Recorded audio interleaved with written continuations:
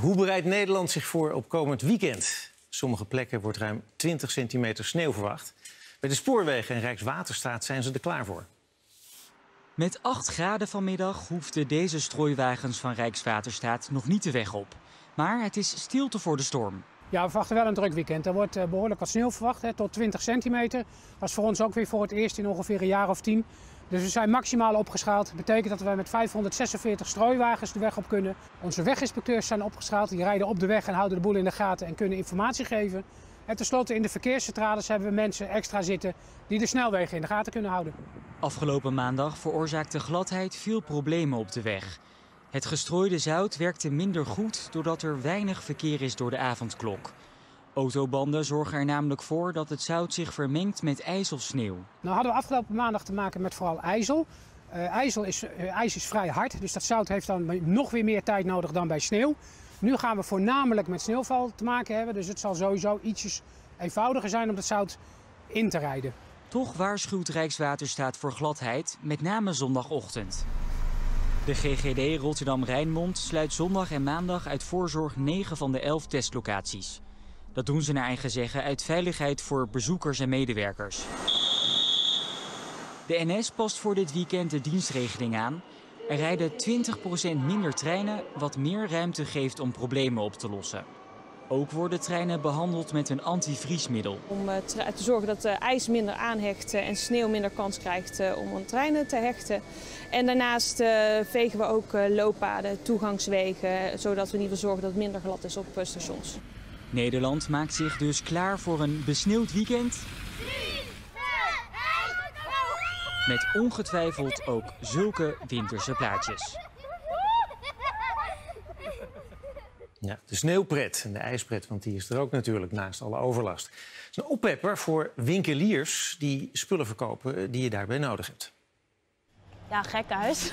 Gisteren in Amsterdam hebben we een record gedaan met 240 pakketjes uh, bezorgd op één dag. Sleetjes, maar ook schaatsen, uh, snowboards worden er verkocht, handschoenen. Echt van alles wordt er besteld op dit moment. Nog een paar nachtjes slapen en dan kan het hier en hier weer los. Winterse buitenpret in het vooruitzicht. En terwijl alles nog groen is, lijkt het erop dat we er ons dit jaar extra graag op voorbereiden. Dankjewel. Zo, toen ik dat gisteravond uh, bij mij thuis in de appgroep zette van mijn uh, woonblok. Toen waren er toch een aantal anderen die zeiden van, joh Arjen, uh, wil je die van mij ook meenemen? Ja. En toen werden het er vijf. Je schaatsen aanbieden voor onderhoud, dat mag hier bij de werkplaats.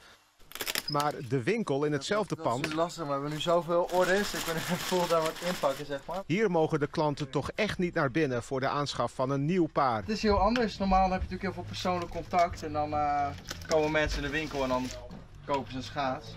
En nu dan ja, is via de telefoon en mail en allemaal wat, uh, wat korter af, zeg maar. Deze speciaalzaak heeft ook een webshop en kan nu aardig wat goed maken van het belabberde afgelopen jaar. Maar voor andere winkels, kleinere winkels die schaatsen erbij doen, is het moeilijker. Dat merken ze hier in de schaatsenfabriek. Jarenlang wachten wij nu op een, op een goede ijswinter. En nu is die er en dan zitten we in de coronatijd. Dus. Veel kleine winkeliers zijn voorzichtig met hun inkopen. Hoeveel ze precies gaan verdienen aan de naderende winterpret, dat zal grotendeels afhangen van hoe lang we straks nog kunnen doorschaatsen. Zeker. En Peter, jij hebt het antwoord erop.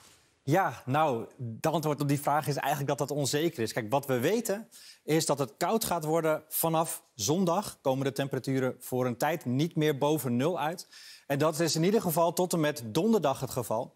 En vanaf vrijdag, het lijkt erop dat dat ook nog een koude dag wordt. Maar je ziet de dreiging van die zachtere lucht aan het einde van de pluim dichterbij komen. En het zou dus kunnen dat uh, die echte kou uh, ongeveer een week gaat aanhouden. Dat heeft alles ermee te maken dat er morgen, daar begint het allemaal mee, een lage drukgebied komt opstomen vanuit uh, Spanje onze kant op. En daarmee komt ons land precies te liggen tussen een lage drukgebied ten zuiden van ons en een hoge drukgebied boven Scandinavië. Nou, daartussenin komt een hele krachtige stroming tot stand van hele koude lucht uit het oosten van Europa. En die situatie die houden we in ieder geval tot en met donderdag.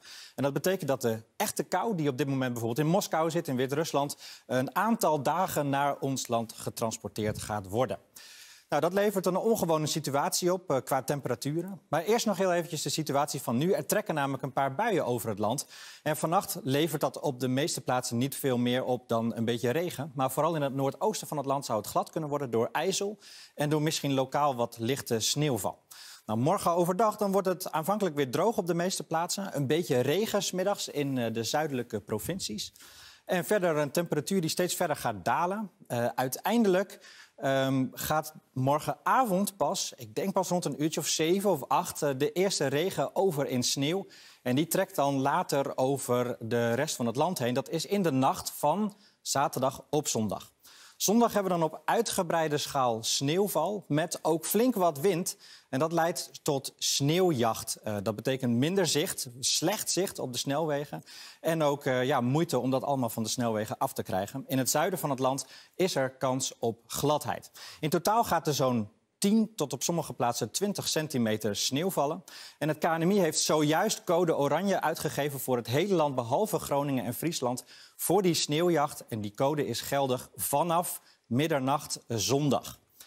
Ja, en dan de komende dagen, ik heb het eigenlijk al laten zien... Hè, lage temperaturen, overdag niet veel warmer dan min 5.